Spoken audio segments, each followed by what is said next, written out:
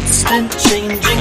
All our lives are rearranging now. All the struggle, all the pain, a part of what we call the game. And harmony calls my name.